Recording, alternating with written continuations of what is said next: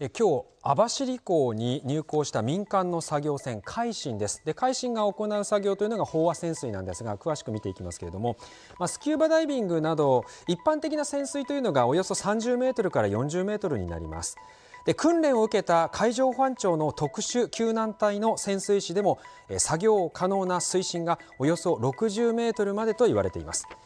しかし今回の「カズワンの船体が沈んでいるのは水深およそ120メートル。そこで必要となる潜水技術というのが飽和潜水になります。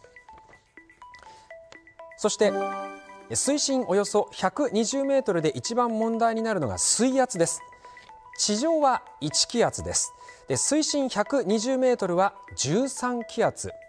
地上の13倍の圧力がかかることになります。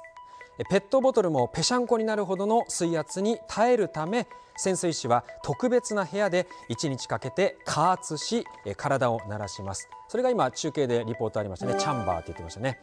そして、えー、作業終了した後ですけれども浮上した後ですねおよそ1週間かけて体を地上の気圧に慣らすということです。ですので作業した後すぐに外に出られないんですね、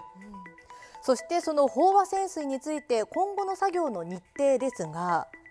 明日夕方海進が網走港を出港。あさってには現場で潜水士が飽和潜水を開始します。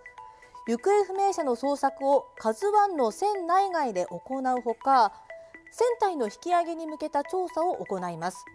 この作業は20日まで2日かけて行う予定です。まあ、おそらくあとはお天気の関係もあると思うんですけれどもねあの穏やかな天候だったらこういう日程で進むと思われますけれども、まあ、現場海域ではまこういった危険な作業が続くことになりますけれども安全第一で進めてもらいたいと思います。